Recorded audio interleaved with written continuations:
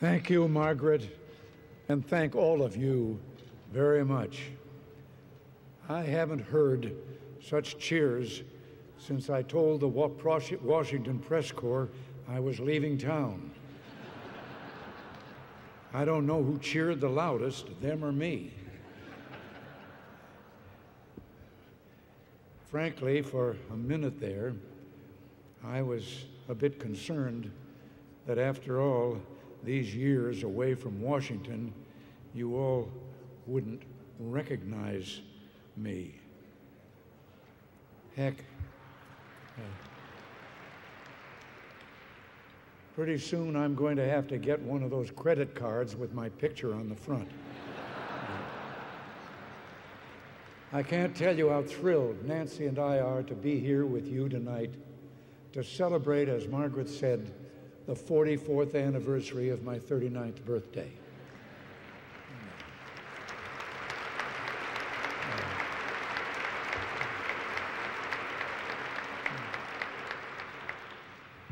Haley told me he was going to gather a few friends for dinner tonight, but I had no idea.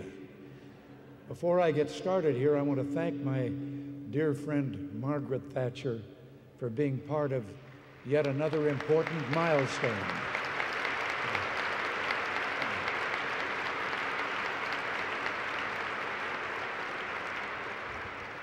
Another important milestone in my life and for those very kind words.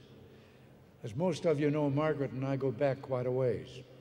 We met at a time before she became prime minister and I became president. From the moment we met, we discovered that we shared quite similar views of government and freedom. Margaret ended our first meeting by telling me we must stand together. And that's exactly what we've done in the years since. As friends,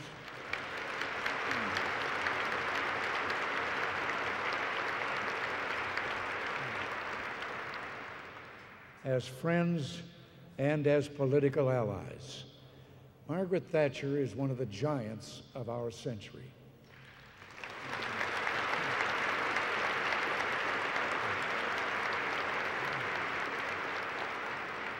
Her, her many achievements will be appreciated more and more as time goes on and history is written. For me, she has been a staunch ally my political soulmate, a great visionary, and a dear, dear friend.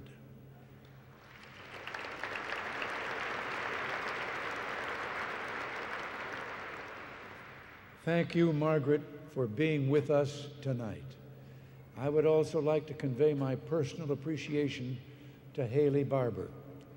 Haley, you and the entire Republican National Committee are doing an excellent job keeping the heat on the Democrats at both ends of Pennsylvania Avenue.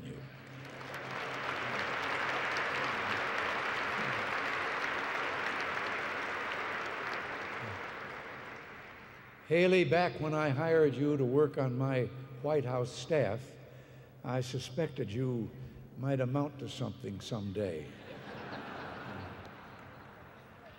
I must say that returning to Washington today really brought back memories.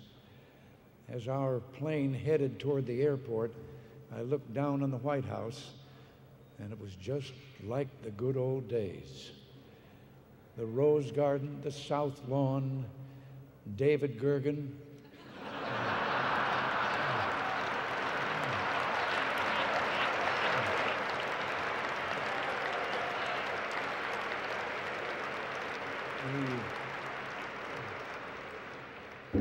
I looked over a couple of blocks and there was the Internal Revenue Service, bigger than I ever remembered it. then, then I looked down at the enormous United States Post Office building. I could just see the excitement on the faces of the bureaucrats, knowing they would soon be managing our national health care system.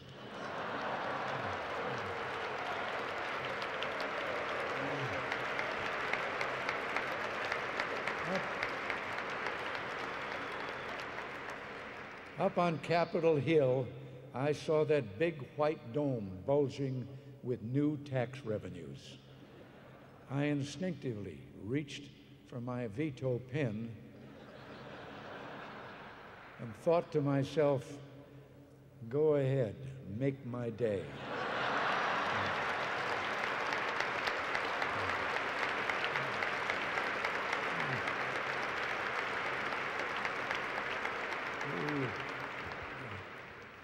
You may have seen President Clinton draw his own veto pen on television just last week.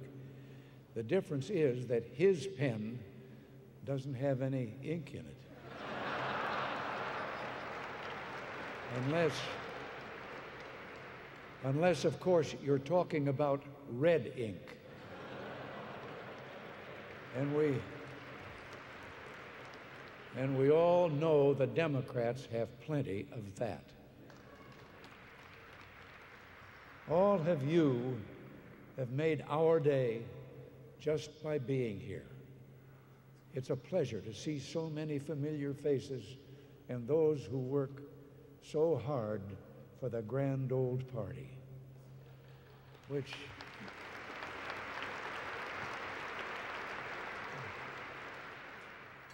which remain, reminds me I need to set the record straight once and for all on a certain matter that keeps coming up.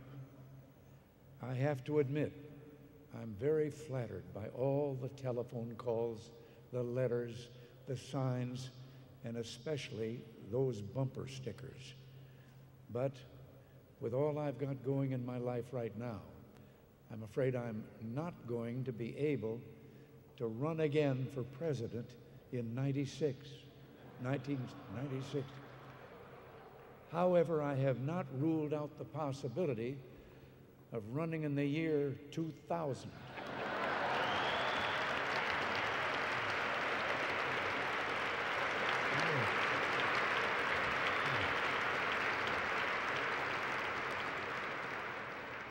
I, I hesitate to ask, but if I did run, could I count on you again for your support?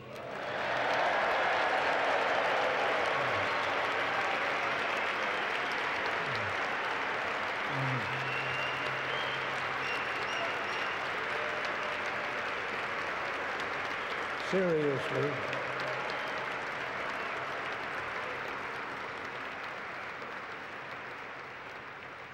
Seriously, seriously, birthdays often serve as the rare moments when we can pause from the bustle of our daily lives to reflect on the years that have passed, the accomplishments and people that have made them special. As I look around this gathering, I am filled with countless warm and fond memories. Many of you go back with us as far as my two terms as California governor. Others of you are more recent additions to the family. Regardless of when you came, you have been a big part of our lives. For that, we are so grateful and feel so blessed. Now, as most of you know, I'm not one for looking back. I figure there will be plenty of time for that when I get old. But rather, what I take from the past is inspiration for the future. And what we accomplished during our years in the White House must never be lost amid the rhetoric of political revisionists.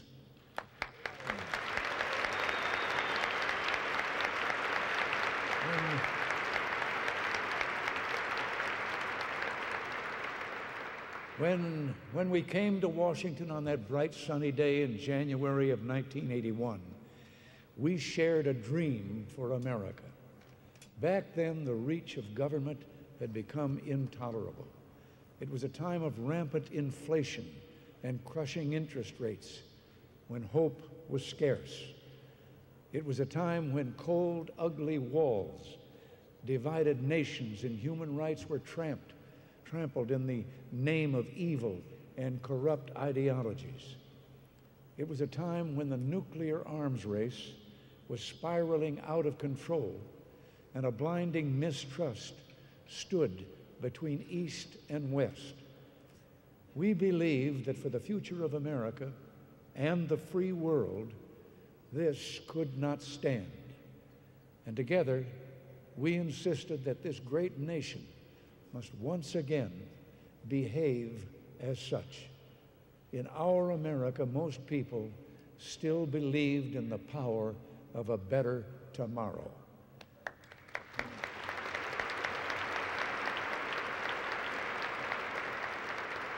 So, so together we got the government off the backs of the American people.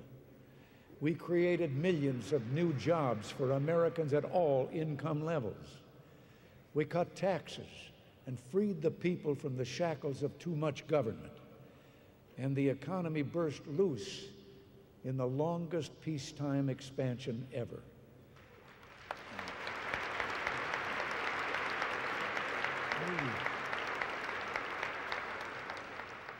We brought America back bigger and better than ever.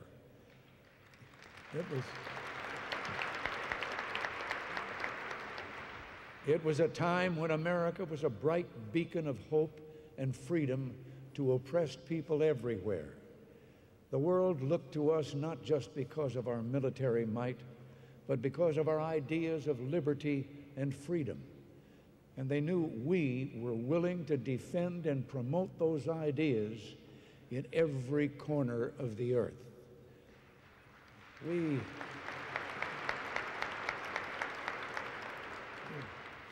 we rebuilt a demoralized, underfunded, and unappreciated military, and we made it the most modern and respected force in the world.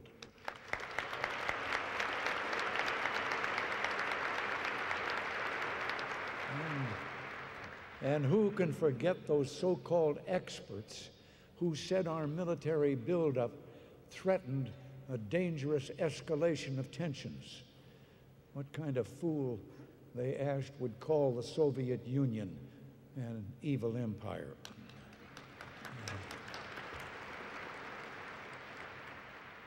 I'm tempted to say there's no fool like an old fool. But as events have shown, there was nothing foolish in my prediction that communism was destined for the ash heap of history.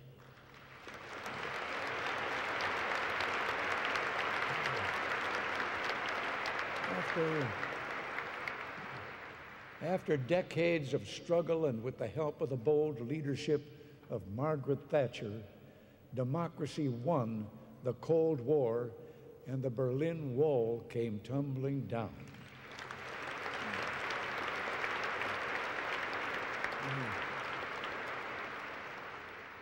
The world watched with amazement as we put our house in order and took our rightful place as the most dynamic country in the world. And I firmly believe that history will record our era as one of peace and global prosperity.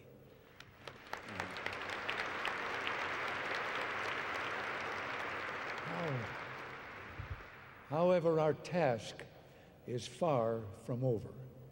Our friends in the other party will never forgive us for our success and are doing everything in their power to rewrite history. Listening to the liberals, you'd think that the 1980s were the worst period since the Great Depression, filled with suffering and despair.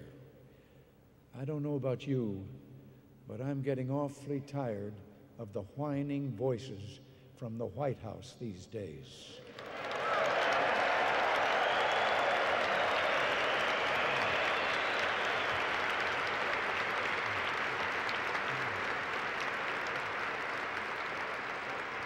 Hey, they were claiming there was a decade of greed and neglect.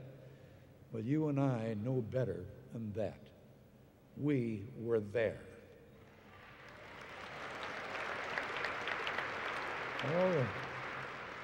Although the political landscape has changed, the bold ideas of the 1980s are alive and well. Republican candidates swept every major election across the country last year, from New York to Texas, from New Jersey to my home state of California. And as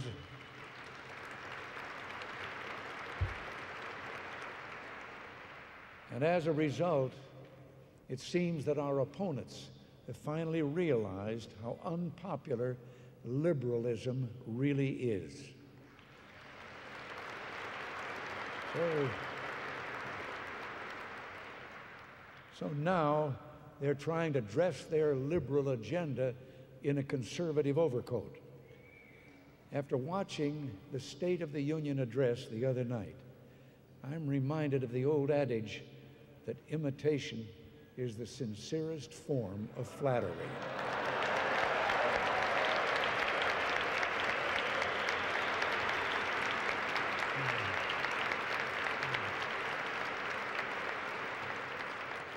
Only, only in this case, it's not flattery, but grand larceny. the the intellectual theft of ideas that you and I recognize as our own. Speech delivery counts for little on the world stage unless you have convictions and, yes, the vision to see beyond the front row seats. The,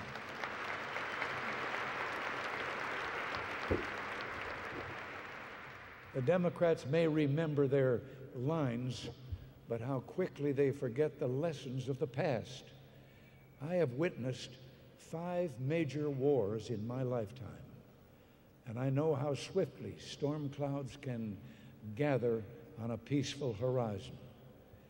The next time a Saddam Hussein takes over Kuwait or North Korea brandishes a nuclear weapon, will we be ready to respond? In the end, it all comes down to leadership.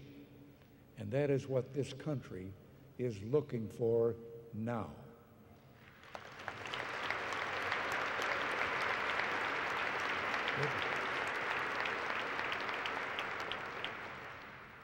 It was leadership here at home that gave us strong American influence abroad and the collapse of imperial communism. Great nations have responsibilities to lead and we should always be cautious of those who would lower our profile because they might just wind up lowering our flag. I don't think an event of this kind would be complete without, well, something that you probably got used to during my days in Washington. One of my stories. It's a, it's a story about a woman who walked into a bridal shop one day and told the sales clerk that she was looking for a wedding gown for her fourth wedding. Well, the saleswoman asked, just exactly what type of dress are you looking for? A long, flowing white dress with a veil, she responded with assurance. Not totally convinced, but afraid to offend the woman, the sales lady said, You know, dresses of that nature are usually more appropriate for brides who are being married for the first time, for those a bit more innocent, if you know what I mean. Well, the lady retorted and put her hand on her hip. I do know what you mean, and I can assure you I'm as innocent as the rest of them. Despite all my marriages, I remain as innocent as any first time bride. Well, you see, my first husband was a dear, sweet man. It was a terrible tragedy, actually. All the excitement of the wedding was simply too much for him, and he died as we checked into the hotel on our wedding night. I'm sorry to hear that, said the clerk, but what about the others? Well, my second husband and I got into a terrible fight in the limousine on the way to our wedding reception. We haven't spoken since and got the marriage quickly annulled. What about your third husband? asked the store clerk. Well, the woman replied, uh, he was a Democrat. And every night for four years, he just sat on the edge of the bed and told me how good it was going to be.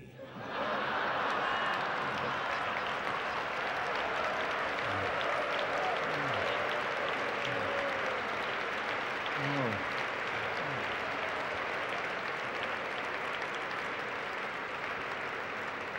Sorry. Sorry, I just couldn't resist telling you. My friends, on a serious note, I would like to end by telling you something that Nancy and I have wanted to say to you for a long time. During our years together, here, as you know, things were always on the move. As soon as we accomplished one objective, we were quick on to the next. There was rarely time to celebrate victory or recall all the people who made it possible. Well, one of the benefits of retirement is you get a chance to reflect back over the years. Since Nancy and I have returned to California, we've spent many occasions looking back at what we did here and remembering the extraordinary people who worked so hard to make those great days possible. And we've wondered if we would ever get the chance to thank them. Well, you are those people, those great individuals who gave so much of yourselves, who sacrificed and supported us and helped us achieve everything we did. So I will conclude tonight by saying the greatest gift I could receive on my birthday is to be able to stand before each and every one of you and convey in the only words I can how grateful Nancy and I are. Thank you for being there and for being here. And thank you for making this evening a memory I will cherish forever. And until we meet again, God bless you, my friends. Thank you.